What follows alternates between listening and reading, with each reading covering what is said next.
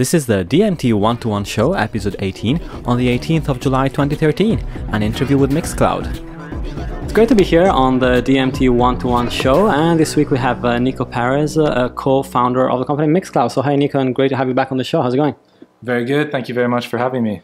It's great to have you. And so uh, we haven't spoken in a, in a while actually on the show. I think uh, it's been five been, six months. At least, yeah, uh, yeah. We had an update at Christmas, actually, a, quick, a, a, really quick one with a few other companies, but not properly for at least a, a year, year and a half. And so a lot has happened at Mixcloud uh, in the last few months, especially in the last like two months actually. Mm-hmm. Uh, and I've myself seen the traffic really grow on uh, digital music trends uh, for the show itself. And so, like, uh, tell me what the latest developments have been. And uh, first of all, starting with mobile, I guess. Yeah, so for us, this year has really all been about mobile. we've been putting a lot of focus and a lot of efforts into it, both in terms of uh, development and in terms of you know marketing and outreach, things like that. Uh, so first up, we had the iPhone app that we built. Um, we actually had an original iPhone app that we built about two and a bit years ago, um, but it, it, it lacked a lot of love. It needed refreshing, and so we put a lot of time and effort into making, you know, what we felt was one of the best apps out there for uh, for listening, and um, we were pretty pleased to see that Apple thought the same. They featured it, um, and so we saw a lot of downloads off the back of that, and we saw a lot of new users. Um, and as you mentioned, you know, part of that rollout was incorporating a new on ramp for new users, and so we helped guide them through some of the categories that we have on the site.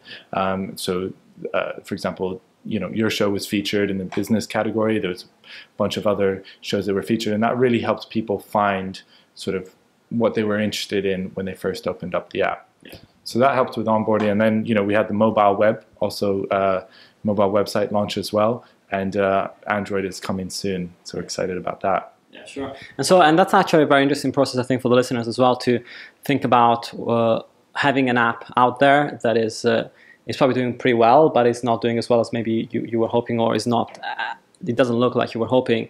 And then going back to the drawing board and thinking, how are we going to create the best app that we can possibly create for the service. So how was that process and, and where did it start? You know, did you have a, a list of features or, or, behaviors that you wanted to incorporate within the app? Yeah, so we started from, you know, the very beginning, the drawing board, our basic premise and our sketch was, you know, how do we make this app as simple as possible for somebody who knows nothing about Mixcloud is coming to it for the very first time and just really maybe doesn't even know where to start. Yeah. And so the focus has been really on, you know, um, allowing people to pick a, a, couple of categories that they're interested in. We present them with a few options of people who that we recommend that they follow. And then in the end, we do something really cool. We do something really nifty where we, um, we scan your iTunes library and then we figure out which Cloudcast on Mixcloud is most relevant to what you've listened to. Nice. So that is really cool. So we look at what you've been listening to and we say, you know, okay, this person's really interested in, you know, Ital- Italo disco, or this person loves funk, or this person, you know, has just been listening to a lot of reggae. And then we cross reference that with what we have. Yeah. And so the whole idea is that you come onto the service, you hit play on the first thing, and you enjoy it. Yeah. And, of course, that that's uh, interesting because. Uh, it requires also big uh, big work in, in categorization from from your end on, on what's what's on the site. So how do you find people using the service uh, are behaving as far as when they uh, when they upload their own shows or you know DJs or radios? Are, are they good with metadata, or do you have to help them out on the front? We always try and encourage as much metadata input as possible because at the end of the day, the more metadata that you input as an uploader, the more likely it is somebody will find your show or your, your mix. Um, but you know, our challenge, and I think this is a challenge of a lot of user-generated sites, is that we have this incredibly long tail of tags, of user-generated tags. Um, and at the moment, we have a few editorial categories. Uh, and our challenge now, and something we're actually working on in the next design, is how do we merge these? How do we overlap them and take the best bits of editorial categories, you know, the ability to feature and pick certain people, along with the scalability of having a free, open free tagging system. Um, because obviously, you know, there's hundreds of different types of genres of music and audio and comedy out there. Um, so we've got a couple ideas in that in that area. Um, it's going to hopefully be coming out in the next version of the, the main desktop site. So stay tuned for that. That's awesome. And looking at uh, the dispersion of the the, the service in on, on different devices, of course, uh, uh, I'm sure that uh, Android is is a big uh, uh, point for you to to get uh, this great uh, improvement on the app out there as well, and and uh, also mobile, uh, uh, sorry, TV as well is also a, a, big category because people are are getting connected through smart TVs, and that may be another another springboard to get more users to join the service. So first of all, let's talk about Android. What, what are the plans on that front, and uh, where are you right now? Yeah, so Android, you know, um, again, we have an existing app that's out there. Uh, we built it about two years ago. It's very ba basic, bare bones functionality. Um, we're in the process of working on the new version.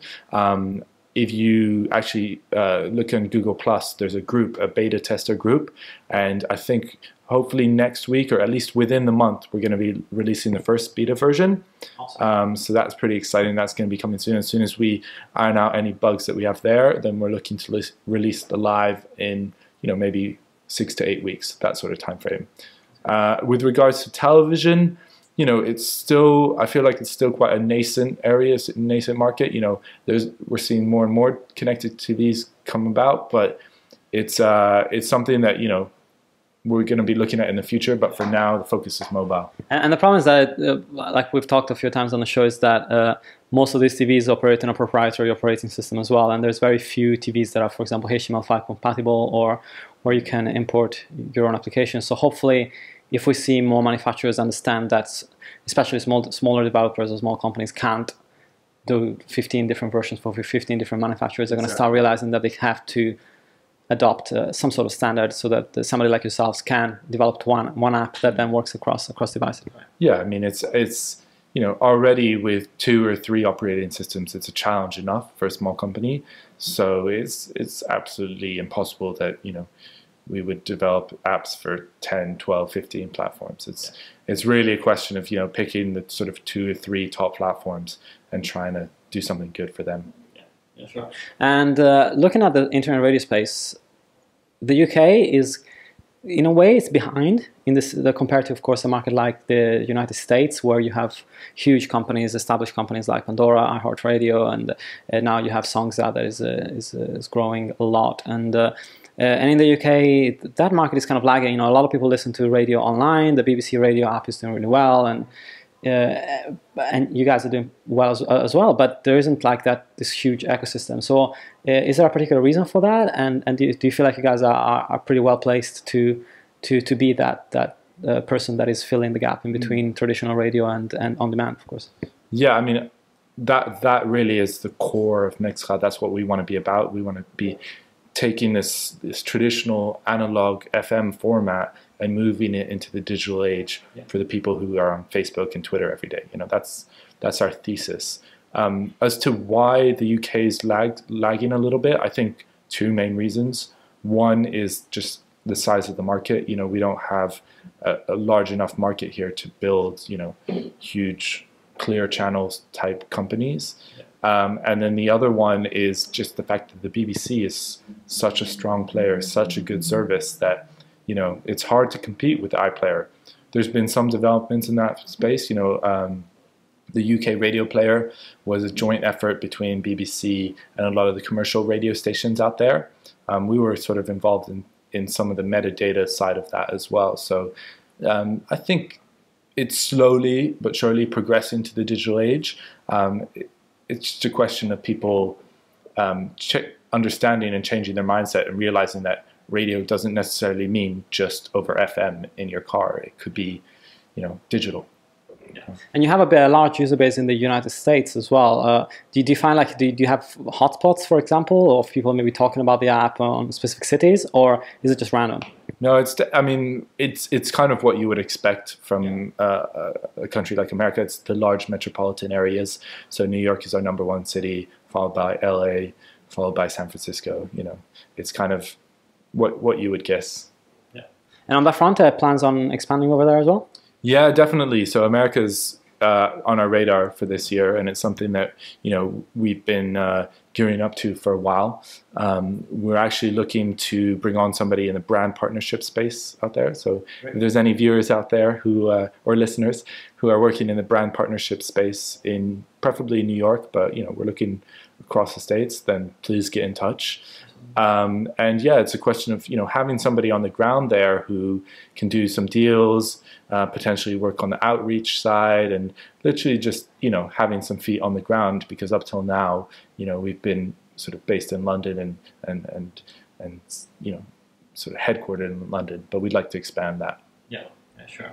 And uh, you know I've always. Uh, had a, a, loads of respect for Mixcloud in the sense that you know you've always been, you know, you started out bootstrapped essentially, you mm-hmm. never took uh, a, lot, a, lot, of funding on, and so uh, you know, do, do, you plan? Did you think that with the changing needs of the company that may change, or do, do you feel like that's your philosophy? You're going to stick with it? Yeah, actually, it's a discussion we're having right now because we, we have reached this point with mobile growth, and you know we've seen things are getting stronger and the, the community is growing. So we've reached this kind of question mark and this point where we are actually considering raising some funds and taking it up a gear, um, especially if we're, we're looking at American expansion. Um, so that's something we're looking at. We're also, you know, there's actually been some people talking to us about um, mergers, acquisitions sort of space. So um, that's something we're considering as well. Uh, safe to say I can't say too much, but it's, it's, it's, quite an exciting time for us right now. Absolutely, yeah, yeah. And, I, and, I, think because you've kept the business your own, then you have a lot more options than if you hadn't. So exactly. So I, th- I think that's something that we're we're really proud that we've taken it this far by ourselves. Um, but you know, we, we, we see the potential in Mixcloud as, as as as much bigger. We see you know the internet radio space is just starting out. Things are sort of you know still in the early days. Um, so we, we we think that we can take it a lot bigger. So yeah. we're quite excited about that. That's awesome, man. and it's also like I guess it's it's a good uh, uh, something to, to to end with for uh, people that are looking at starting their own company.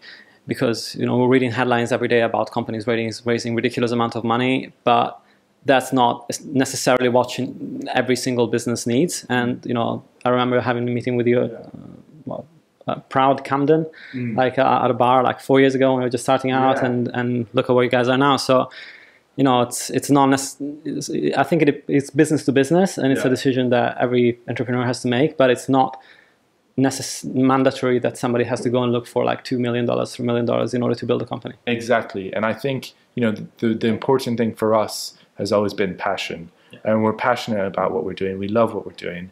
Uh, and so it's not really about the money, whether we make millions or anything like that. It's it's, it's a genuine passion for what we're doing. Um, and then the other thing that I just end on is, uh, you know, somebody told me very early on in the early days when we started, when we were trying to raise money, um, he said, you know, actually a couple of guys or girls in a in a room with a good Wi-Fi connection, you know, you can go pretty far with just that. So I would recommend everybody to I really highly recommend starting a business. It's been one of the most um, informative and interesting things I've ever done. And so I would recommend everybody to go out there and you know try and try and make something happen. That's great. Well, thanks so much for your time, and go and check out mixcloud.com. And uh, if you're on a mobile device while you're listening to the show, uh, grab it right now and uh, look for Mixcloud on your uh, phone. And hopefully, in a few weeks, you'll be able to get the new and improved uh, Android app, but in the meantime, you can get the old one, and then when the new one comes out, it's going to get updated. So do it anyway. Uh, thanks so much for listening, and thanks, Nick, for joining me. Thank you very much for having me. Have a great week, and until next time. If you enjoyed the show, remember to check out our weekly music tech news show on digitalmusictrends.com.